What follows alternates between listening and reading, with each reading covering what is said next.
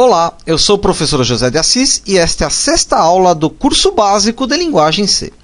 Nesta aula eu vou falar sobre variáveis globais e também ensinar a criar um menu de opções usando a estrutura switch case.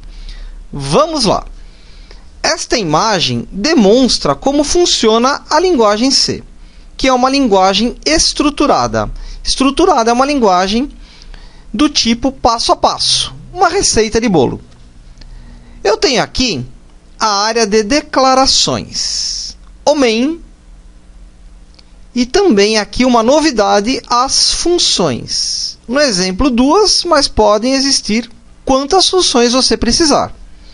As funções são blocos de código que podem ser usados a qualquer momento. Eu vou falar sobre as funções na próxima videoaula. Nas aulas anteriores, eu tenho declarado as variáveis aqui dentro do main. Para declarar uma variável de forma global, uma variável de forma global, ela vai servir para todo o código, incluindo aqui as funções. Eu preciso declarar ela nesta área aqui de declarações. Ou seja, antes do main. Vamos ao exemplo. A estrutura switch case, que é considerada uma estrutura de decisão.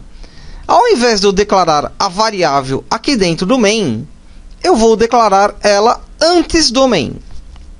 Então aqui int número ponto e vírgula. Declarando aqui a variável antes do main, eu torno essa variável global. Ela vai servir para tudo, para o código inteiro, inclusive as funções que nós vamos ver na próxima videoaula. Muito bem.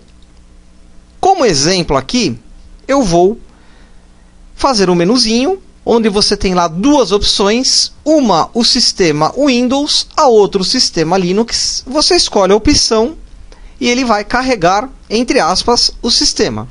E se você escolher a opção errada, ele vai exibir uma mensagem escrito opção inválida. Deixa eu escrever aqui, ó, printf sistemas barra n barra n. Barra n pula uma linha barra n barra n pula duas linhas.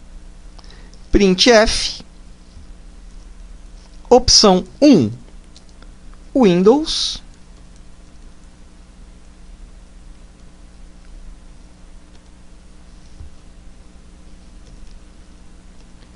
printf opção 2 Linux.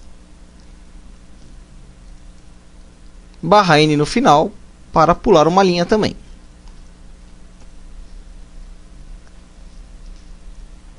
printf barra N. O barra N ele pode ser usado antes ou depois do texto no caso aqui, eu quero que pula mais uma linha. Escolha a opção desejada. Dois pontos. Ponto e vírgula. Eu vou aqui corrigir essa acentuação. Eu não declarei a biblioteca lá locale e colocar aqui mais um barra N no final. E uma dica aqui é sempre a gente ir compilando aos poucos o aplicativo. Faz um trecho do código, compila. Isso facilita você identificar aí os bugs. Então, executar, compilar e executar. Muito bem. Sistemas 1 Windows 2 Linux, escolha a opção desejada. Então aqui eu vou é, capturar o que o usuário vai digitar, o número 1 ou o número 2. O número 1 ele vai subir o sistema Windows, o número 2 ele vai subir o sistema Linux. Por enquanto, tranquilo.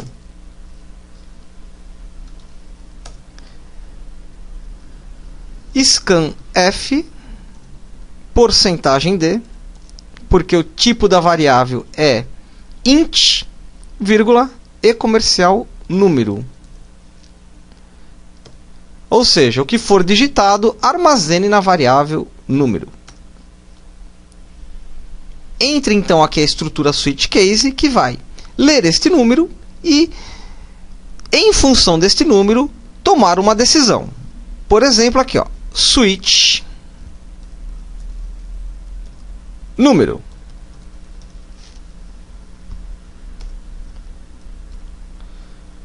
Ok, antes de eu prosseguir, a sintaxe desta instrução, dessa estrutura de decisão, perdão, ela não usa aqui o ponto e vírgula, não tem esse ponto e vírgula, e abre e fecha parênteses. Aqui dentro que eu vou construir esta estrutura. Case 1, dois pontos. Case 1 significa caso este número seja 1, faça isso. Esses dois pontos aqui, percebam que não tenho também aqui o ponto e vírgula. Caso 1, eu quero limpar a tela. System CLS e quero escrever aqui, ó, printf iniciando o Windows. Barra N. Break. Ponto e vírgula. Ok. Switch case. Caso seja 1, o número, ele vai limpar a tela, vai escrever iniciando Windows e aqui tem o break. O break ele finaliza aqui o case 1.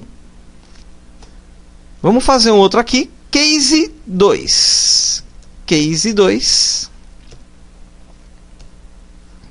Para não perder tempo, eu vou aqui copiar esse código de cima, Ctrl C, Ctrl V.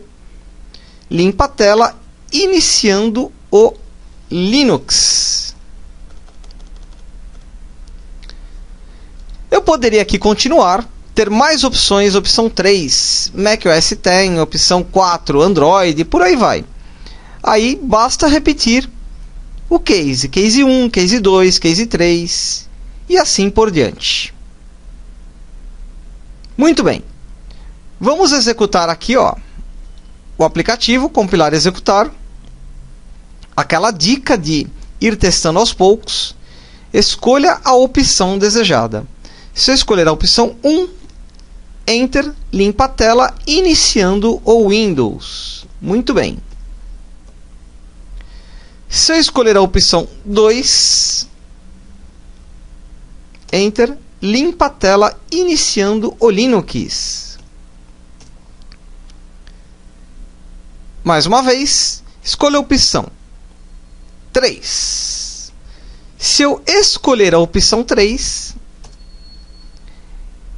ele sai aqui desta estrutura e não exibe nenhuma mensagem.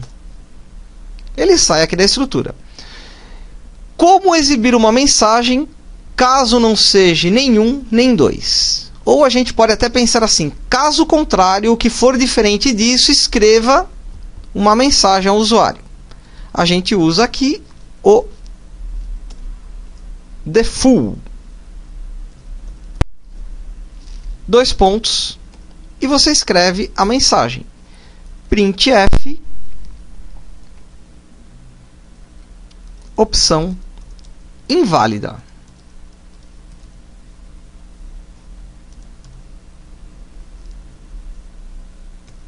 Neste caso aqui não se usa o break. E tudo que for diferente de 1 ou 2, ele vai exibir esta mensagem. Mais uma vez, vamos aqui compilar e executar novamente. Tenho duas opções. Vou colocar aqui a opção 4. Enter. Opção inválida. Ele exibiu aqui a mensagem. Escolha uma opção, opção 1. Ele vai iniciar aí o Windows. Esta é a estrutura switch case. Por hoje é só. Sucesso a todos!